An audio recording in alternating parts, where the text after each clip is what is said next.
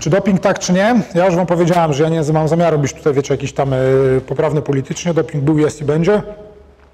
To też oczywiście jest... Y, no wiecie, ludzie są hipokrytami trochę w tym czasie, w dzisiejszych czasach, no bo nie oczekują, żeby sportowcy, wiecie, bili się 5 razy 5 minut, skakali wyżej, tak, na olimpiadzie zdobywali medale, no ale najlepiej, żeby to robili na bułce z bananem, tak? I już generalnie, jak ktoś bierze doping, to jest B. No też pamiętajcie, że dużo tych środków, które biorą sportowcy, to są środki nawet, które pomagają zaleczyć kontuzję, tak? Bo te, tak naprawdę w dzisiejszych czasach ciężko znaleźć tą granicę, co z dopingiem, co nie. Na przykład pseudoefedryna zawarta e, w Gripexie choćby, no to jakby ktoś pojechał na olimpiadę biorąc pseudoefedrynę, no to by wpadł na dopingu, tak? Także no każdy z nas w okresie zimowym może powiedzieć, że jest na dopingu, tak? Jak go przeziębienie złapie, nie? No i teraz gdzie jest ta granica, tak? Ja pamiętam, ja dźwigałem w czasach jeszcze ja na jednej sali dźwigałem z Szymonem Kołeckim, tak, czyli naszym olimpijczykiem, z Marcinem Dołęgą. Nie pamiętam, jak oni opowiadali, jak wrócili z olimpiady z Pekinu, gdzie Szymon Kołecki zdobył chyba srebrny medal, później mu chyba złoty dali, bo tam wpadł pierwszy właśnie do dopingu. E, no to on mówi, że nawet kawy mocno nie mógł wypić, tak, bo to już była jakaś tam brana forma dopingu, tak, no jakaś stymulacja układu nerwowego, tak, jakieś pobudzenie. Także ciężko znaleźć tak naprawdę, gdzie jest ta granica między dopingiem a nie. No i generalnie co, co ci zawodnicy biorą, tak, ogólnie, co jest spotykane? No, podstawowe jest to testosteron, tak, czy to, co najczęściej biorą, czy podstawowy hormon męski, tam steroidowy, a czy hormon męski. Powiedzmy, nie ma czegoś takiego jak hormon żeński i damski, tak, jest generalnie dominacja. Kobiety mają testosteron tylko w mniejszej ilości. Tak, ja na przykład mam więcej testosteronu niż koleżanka, która siedzi tutaj, dlatego ja mam głos gruby jak, wiecie, jak, ja nie wiem co tam, jak grubas, tak, a, a, koleżanka ma, będzie miała niższy głos, tak, po prostu, znaczy wyższy głos, tak, jak bardziej piskliwy, no bo jest kobietą. Ona ma, te, ma estrogen, więc to będzie dyktowało, aczkolwiek ma jakieś poziomy, ja mam poziom jakichś estrogenów w swoim ciele, i koleżanka też ma poziom jakiś testosteronu w swoim ciele, tak, bo są to hormony też odpowiedzialne, tylko chodzi o dominację, tak. Dlatego często właśnie niektóre sportsmenki z, z zawodów kulturystycznych, które przyjmują doping z zewnątrz, no to właśnie dlatego mówią, mają taki głos skrzeczący czasami, tak, taki, bo właśnie prawdopodobnie brały testosteron, żeby się przygotować do zawodów. E, podstawowy hormon męski, tak, no i generalnie on wiadomo, zwiększa nam ilość tam dopaminy, tak, wszystkich neuroprzekaźników, czyli mam czas reakcji lepszy, tak, e, na takiej zasadzie, wiadomo, troszkę on odpowiada na wzrost agresji, takie poczucie bycia samcem alfa, powiedzmy sobie, tak, na takiej zasadzie.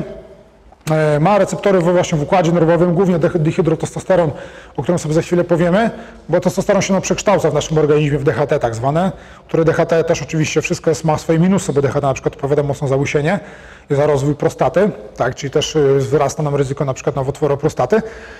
E, jeżeli ktoś ma dużo enzymu, którym przekształca, tak, na przykład ten, tak, to też uwarunkowane mocno genetycznie, ale jeżeli ktoś bierze testosteron, no to wiadomo, tu wzrasta mu ta, to ryzyko.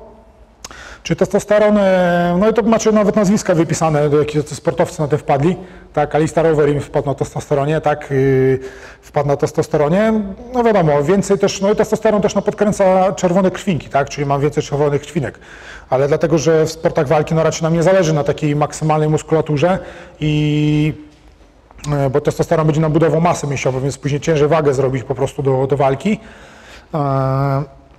No i też będzie wzrost tych czerwonych krwinek, a my nie chcemy mieć y, krwi gęste jak kisiel, tylko mieć kondycję cały czas dobrą, no to się stosuje zdecydowanie niższe dawki tego testosteronu e, w sportach walki niż to się robi w sportach sylwetkowych, tak? Tak jakieś tam, nie wiem, 50 mg testosteronu propionatu połączonego z masteronem, to jest raczej wszystko, co, co drugi dzień, raczej wszystko, co zawodnicy biorą, e, gdzie w kulturystyce to by powiedzieli, że są śmieszne dawki jakieś dziecięce, nie, bo tam leci po 300, 400, 500 czasami leci tego testosteronu tygodniowo, co z ilością w ogóle, nie wiem w ogóle, jak musi człowiek na tym czuć, ale dobra. E, hormon wzrostu, czyli hormon wydzielany w naszej przysadce mózgowej, głównie jak rośniemy, czyli dzieci go mają dużo. Jeżeli ktoś go mało w młodości ma, to się nie rośnie i robi się tym karyplem, chyba że ma podany testosteron, e, przepraszam, hormon wzrostu ma podany gdzieś tam e,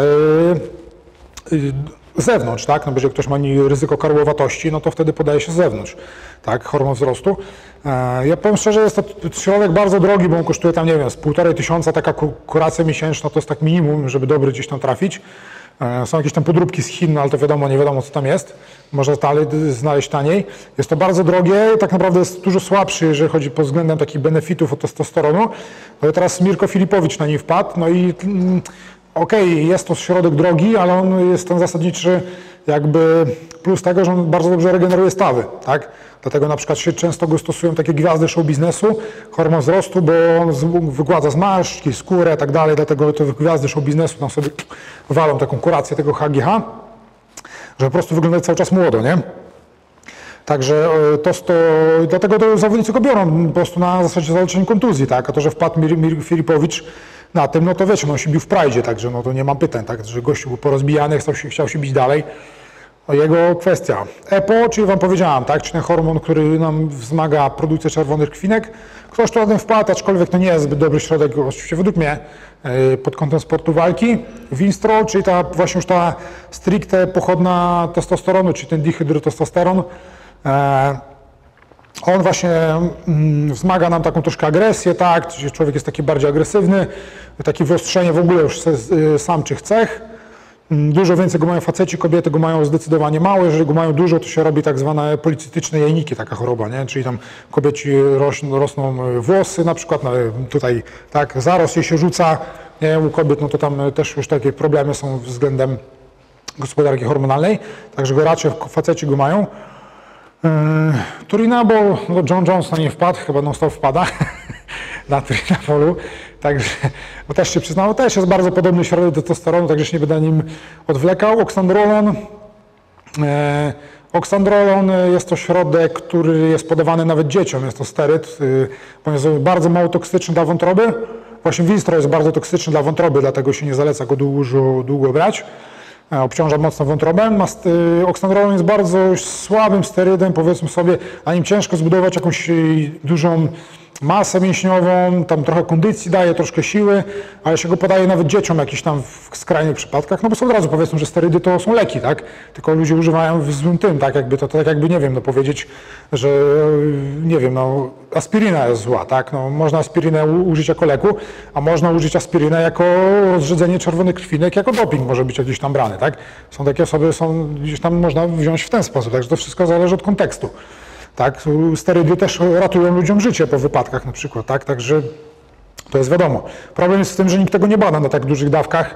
Raczej badania są naukowe przeprowadzane na dawkach takich przecież na ludziach chorych, a nie na takich zawodowych sportowcach, tak, którzy biorą bardzo duże dawki. E, Także no, ksandrolon, problem z tym, że go bardzo ciężko dostać, bo jest on już praktycznie nieprodukowany, a zresztą chora jest cena, bo tam chyba 500 zł za 100 tabletek, które starczają tam na miesiąc, także jest praktycznie nie do dostania oryginalne. Chyba, że tak, gdzieś za granicą można gdzieś tam spróbować. Masteron to też chyba najbezpieczniejszy z tych wszystkich, e, też właśnie tego dihydrotestosteronu. E, Jeden z najbezpieczniejszych, właśnie dlatego często go właśnie ludzie biorą z testosteronu, bo nie, tak, nie obciąża tak wątroby. Jest dużo bardziej bezpieczny. Też ciężko go dostać oryginalnego, można próbować, nie mówię, że nie, no ale to wiadomo, wszystko czarne rynki. Raczej tak w aptece raczej ciężko go dostać. Meldonium. E, Fedor Majanienko sam się przyznał nawet, że brał. Generalnie meldonium to nie jest stery, to jest ciekawy, to jest w ogóle ciekawy środek. Na nim może się chwilę zatrzymam na nim, wam powiem generalnie co to jest. Generalnie meldonium zostało wymyślone po to, żeby kurczaki szybciej rosły w Rosji. Tak i był to celowy tego, tego, tego zastosowanie. No i generalnie e, Później zaczęto, zaczęto badania prowadzić na ludziach, no i to ciekawe, bardzo mocno podnosi kondycję. I on nie działa na zasadzie, że nie podkręca nam hormony, tylko on działa na zasadzie metabolizmu naszego, e, naszego naszym ciele, no bo teraz tak, nie pamiętam dokładnych liczb, ale powie, powiedzmy sobie tak, generalnie wasz organizm, żeby z jednej cząsteczki tłuszczu wytworzyć nam powiedzmy 15 cząsteczek ATP, które będą wam energię, no potrzebuje jakiejś tam ilości tlenu, tak, powiedzmy 3 litry. A jeżeli byście chcieli w, z węglowodanów, tak, yy, z cząsteczki węglowodanów otrzymać 15 ATP, powiedzmy jednostek, no to wtedy możecie sobie tylko wciągnąć 2 litry tlenu, tak? Czyli litr tlenu macie gratis jakby i no, taka jest tak naprawdę magia meldonium, że on tak naprawdę zapycha nam receptory na L-karnitynę. Pewnie kojarzycie L-karnitynę, nie? Czy taki suplement, który tam panie biorą na schudnięcie, tak? Czy tam panowie też. Yy, no i generalnie L-karnityna odpowiada za, yy, za za metabolizm tłuszczów. No jeżeli my zapchamy receptory, o L-karnityna nie krąży, nasz organizm musi przestawić się na ciągnięcie źródeł energii z węglowodanów, tak? No i czyli automatycznie metabolizm mamy przestawiony na, na węglowodany, no i też później się zmęczymy, tak? Rozumiecie o co chodzi, tak? Po prostu mamy jakby więcej tlenu kosztem, znaczy więcej energii kosztem mniejszej ilości tlenu. Tak, dlatego taka, to jest taka naprawdę cała magia meldonium, także to nie jest to jest bardziej środek działający na jakiś nasz metabolizm, także tu też dieta raczej powinna być, dieta tu też powinna raczej być e, wysokowęglowodanowa, raczej na jakieś ketozy, to bym się nie bawił. E, Skutki uboczne ciężko stwierdzić, nie ma stricte skutków ubocznych, Rosjanie gdzieś tam to badają, ale Rosjanie ogólnie jest dużo badań rosyjskich fajnych, ale Rosjanie tego nie tłumaczą, mają to gdzieś. Tak, e, oni mają swoje badania, wiadomo, w języku angielskim to każdy przeczytał, Rosjanie tego nie tłumaczą, bo po co, to jest dla nich.